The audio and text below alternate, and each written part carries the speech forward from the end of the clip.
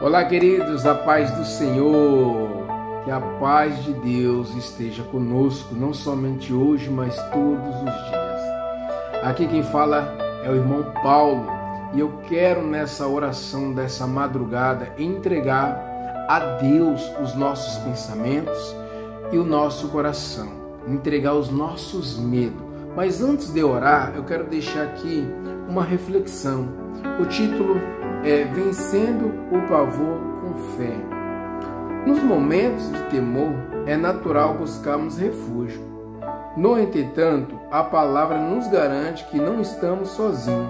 O medo pode ser paralisante, mas a fé, essa luz interior, nos guia além da sombra. Isaías 41, 10. É um bálsamo, é um bálsamo para a alma apreensiva.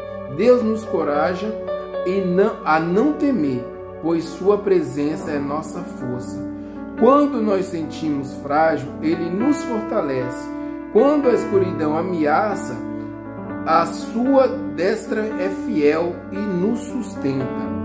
Encare seus medos não como obstáculo intransponíveis, mas como a oportunidade para experimentar a profundidade da confiança em Deus. Em vez de permitir que o medo dite seus passos, permita que a fé guie. Afinal, a verdadeira coragem não é a ausência de medo, mas a determinação de seguir em frente, confiando naquele que nos prometeu sua presença constante.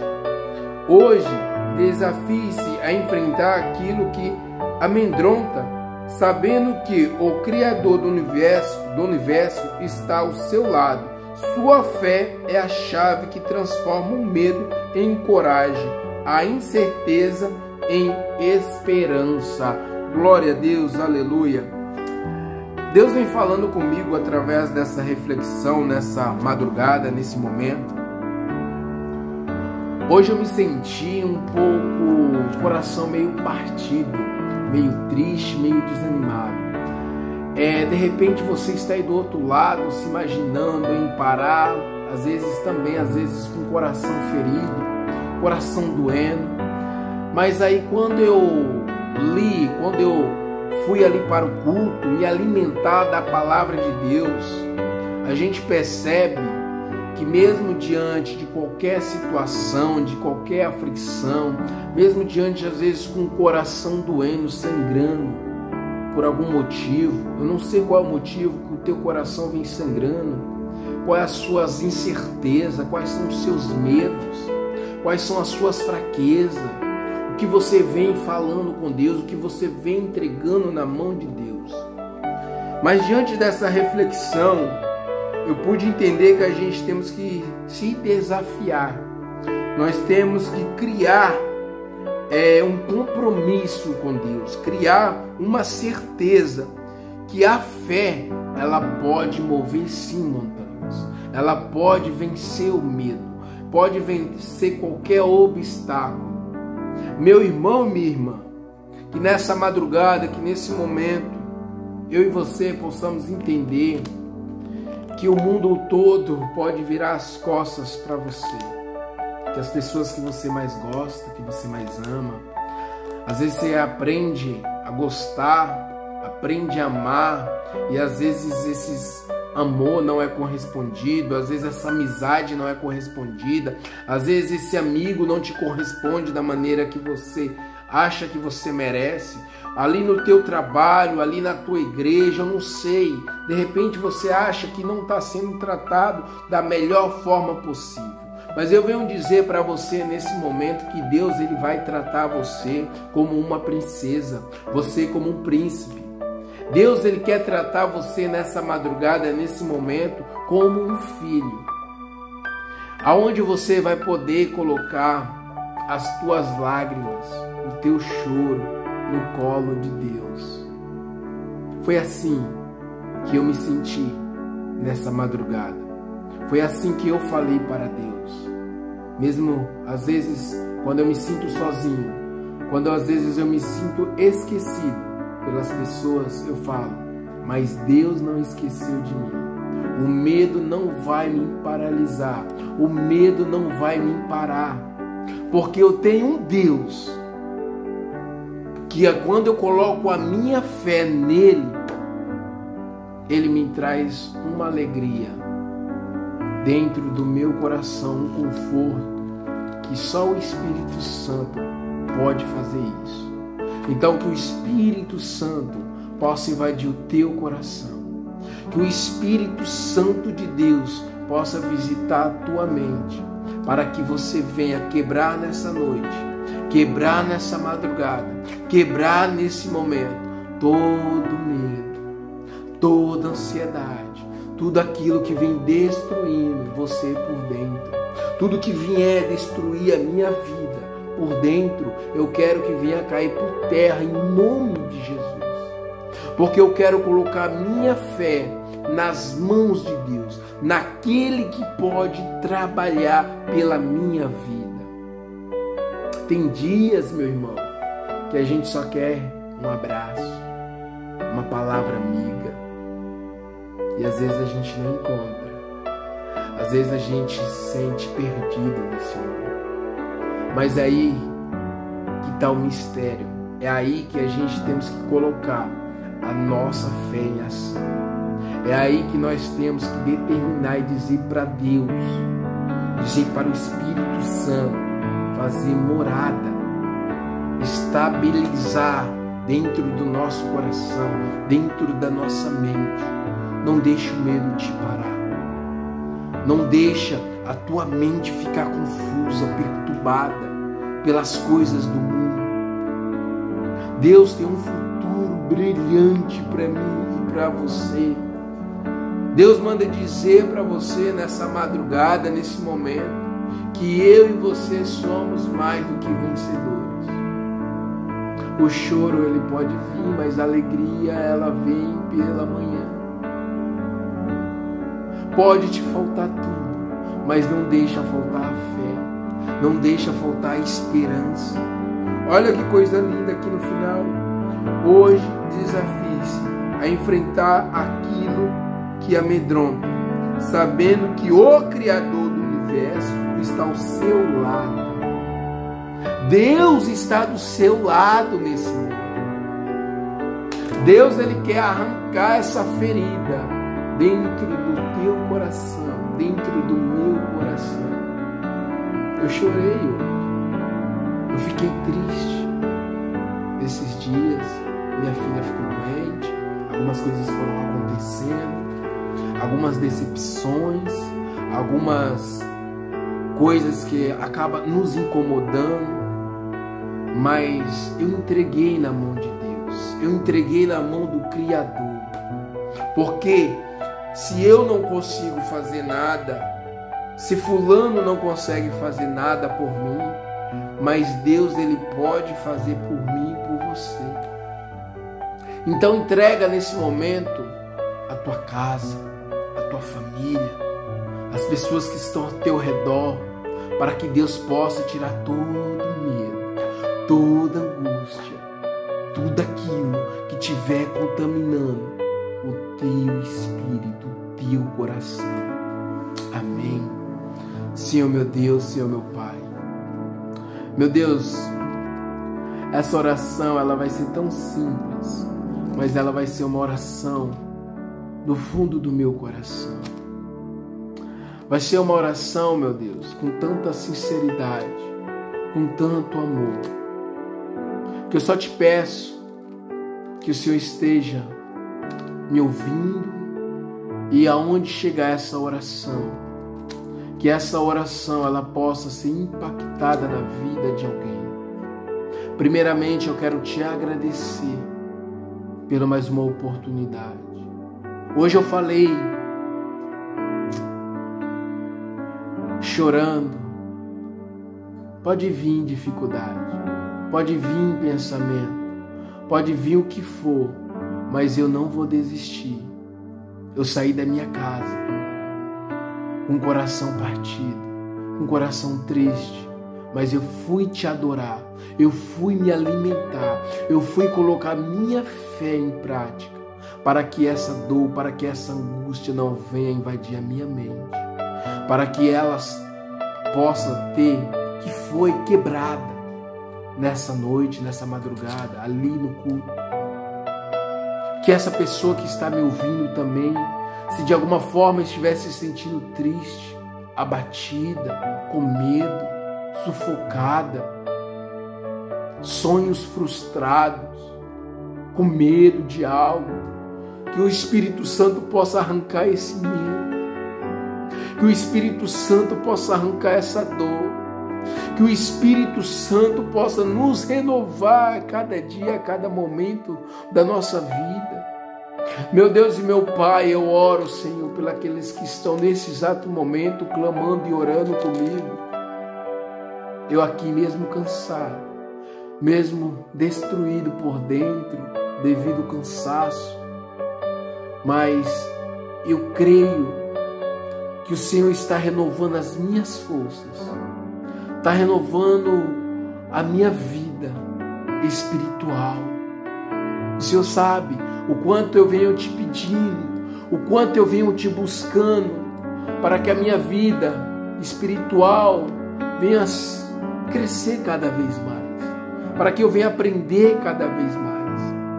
Eu quero aqui apresentar cada membro ali da igreja Conectados em Cristo, de Palhoça, de Floripa, pessoal da igreja que tem me apoiado, que tem me sustentado através da palavra, através dos conselhos dos meus pastores. Eu quero aqui apresentar, Senhor, os meus filhos, o meu filho Júlio César, a minha filha Larissa, Senhor, que esses dias esteve doentinho. O Senhor vai restaurando a saúde dela cada vez mais.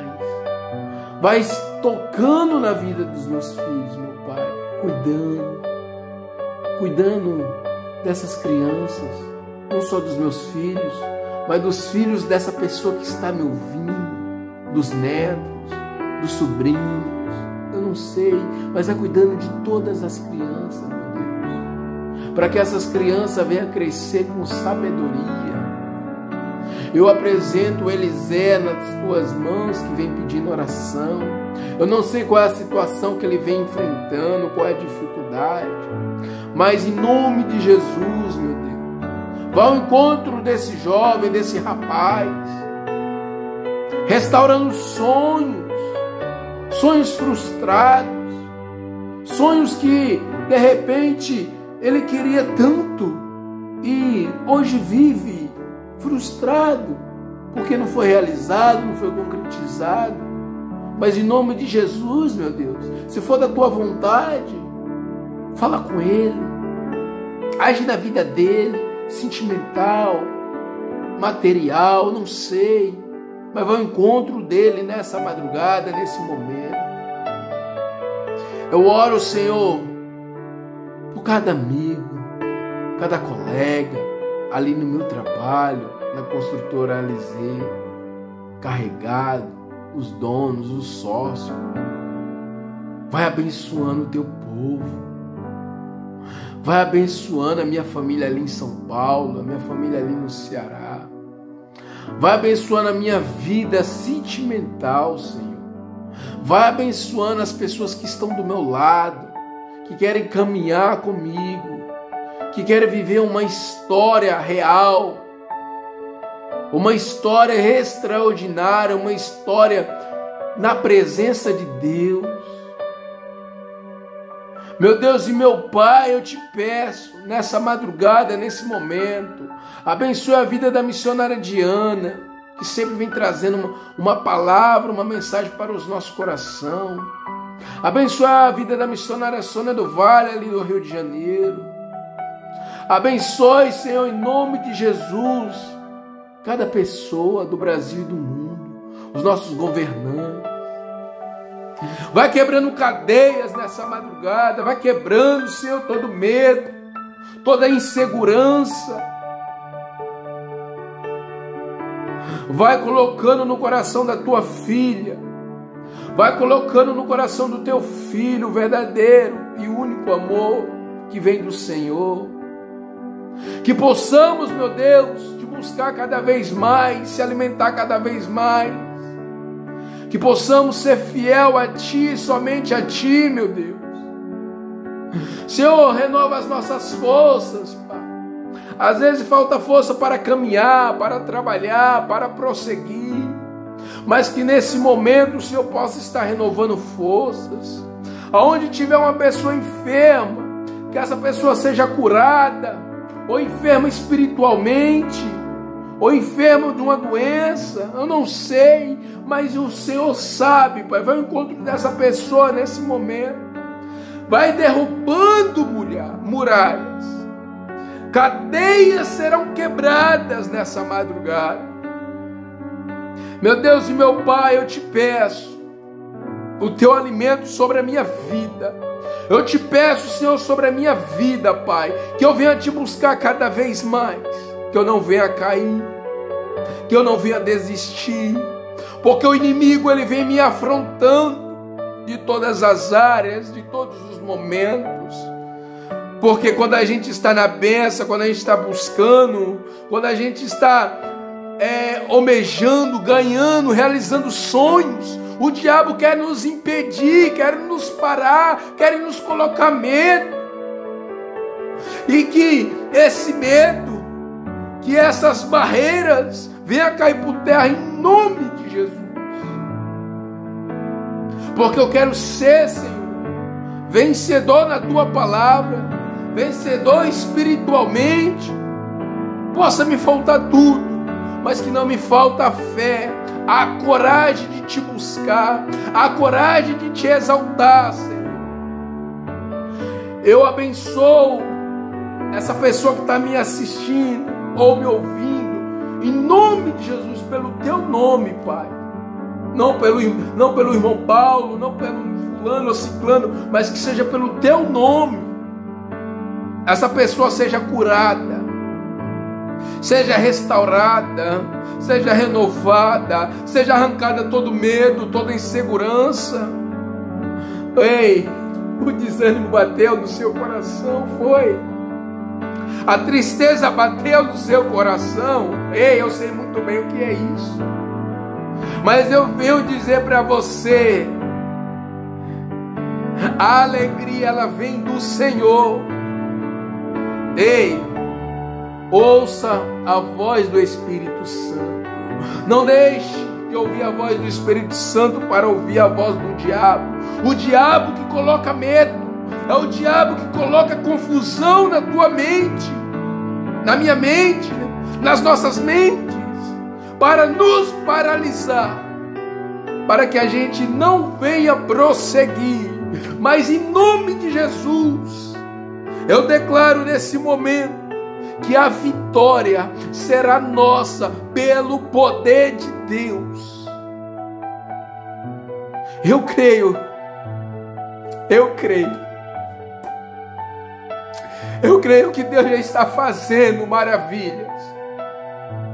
Eu creio que o Espírito Santo já está invadindo a tua casa, os teus sonhos, os teus projetos, arrancando toda ansiedade, todo medo, toda angústia, toda insegurança já está sendo quebrada nessa noite, está sendo quebrada nesse momento. Porque os planos de Deus será maior do que os nossos. Os planos de Deus será maior do que os nossos. Amém.